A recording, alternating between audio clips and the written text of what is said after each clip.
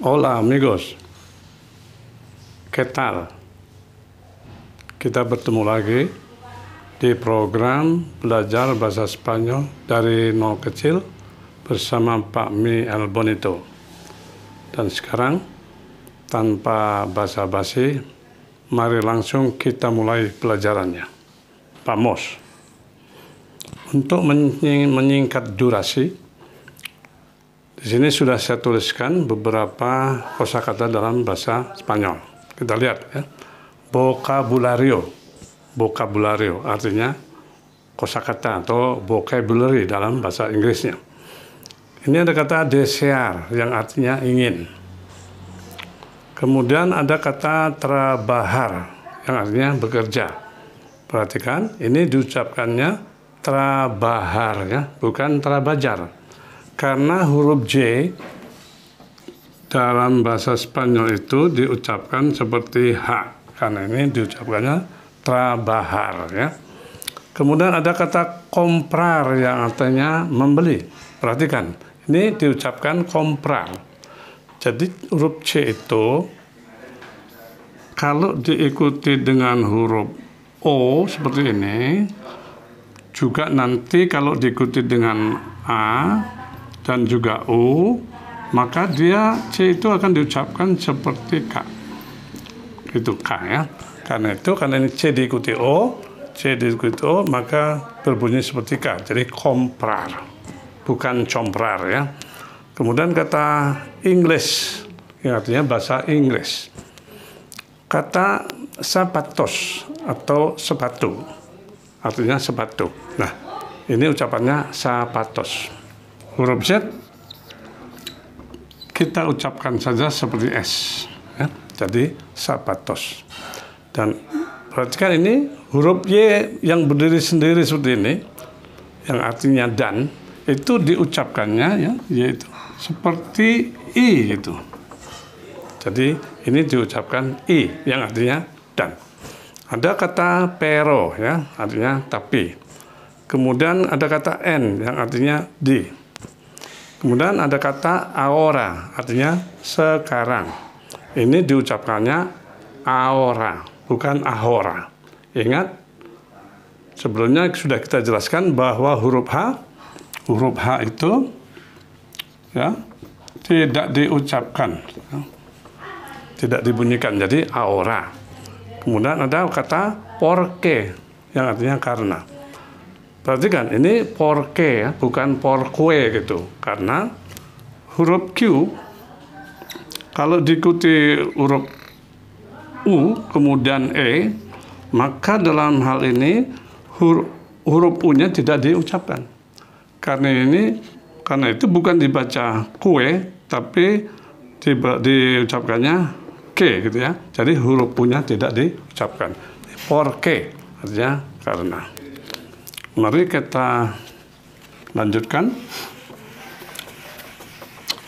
pada pelajaran kita itu bagaimana cara membuat kalimat negatif atau orasion negativa.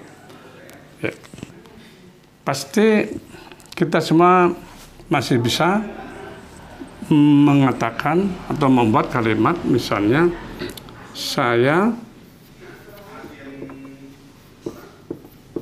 bicara bahasa Spanyol ya. Spanyol.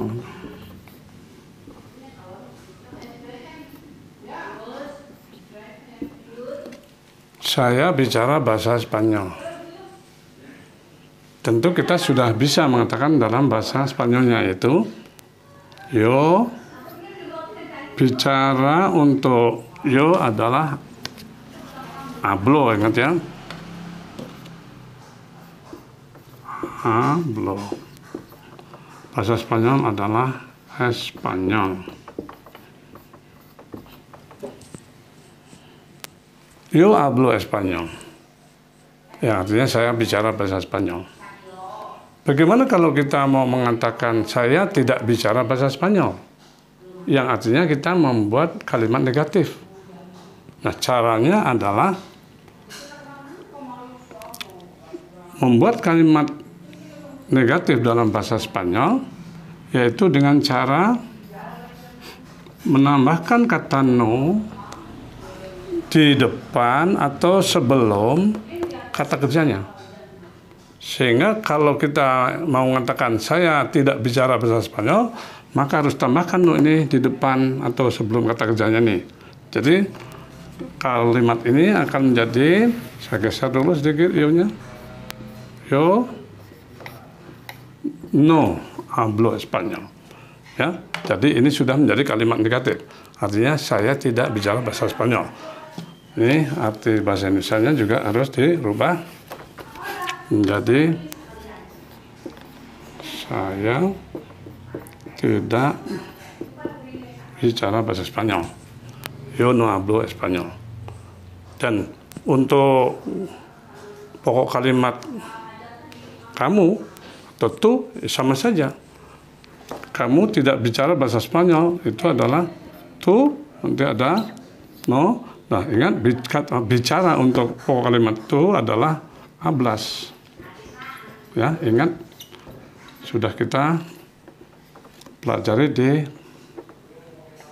episode 1. Jadi, tu no hablas español.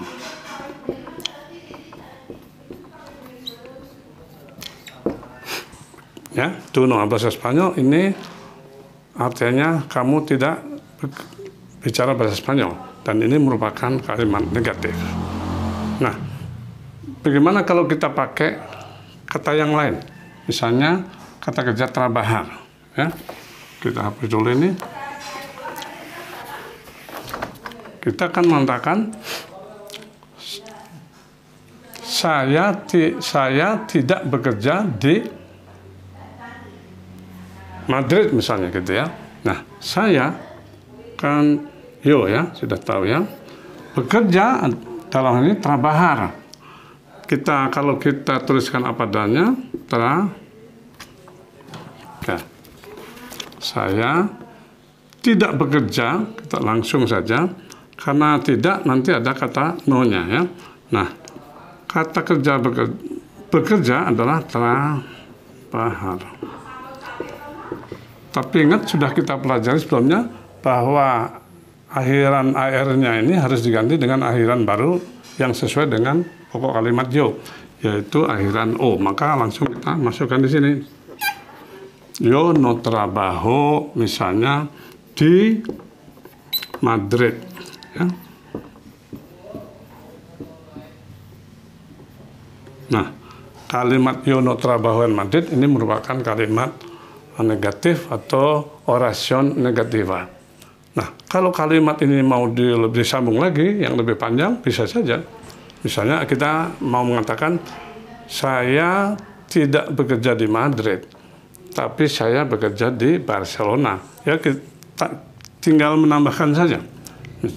Bahwa, yo no trabajo en Madrid, tapi, tapi mana? Tapi itu pero, uh, pero mana? Eh, pero ya tapi este, pero yo trabajo en Barcelona. Ya? Perhatikan, jadi kalimat panjang sudah menjadi Yo no trabajo en Madrid saya tidak bekerja di Madrid, tapi saya bekerja di Barcelona. Pero yo trabajo en Barcelona. Jadi kalimat panjang seperti ini dengan mudahnya kita sudah bisa membuat dalam bahasa Spanyol ini karena kita sudah mempunyai kosakatanya dan juga kita sudah tahu bagaimana cara mengkonjugasikan atau merubah kata kerja supaya sesuai dengan uh, pokok kalimatnya.